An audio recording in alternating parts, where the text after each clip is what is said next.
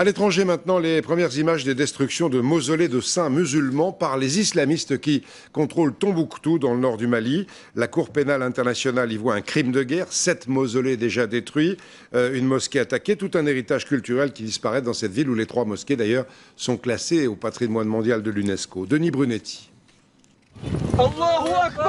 C'est au nom d'Allah et de la charia que ces islamistes qui contrôlent la ville détruisent les biens religieux et historiques de Tombouctou.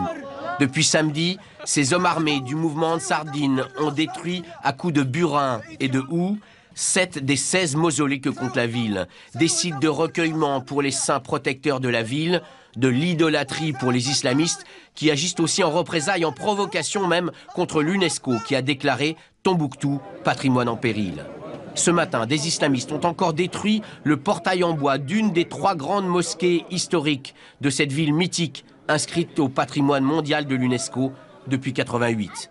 Dans le monde culturel et au Mali même, on s'était déjà alarmé depuis des semaines des premières destructions.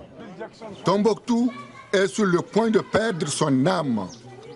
Tombouctou est sous la menace de vandalisation outrageante. Aujourd'hui, les islamistes maîtres du Nord Mali disent vouloir détruire toute référence à des saints, menaçant ainsi un héritage culturel, comme les talibans en Afghanistan.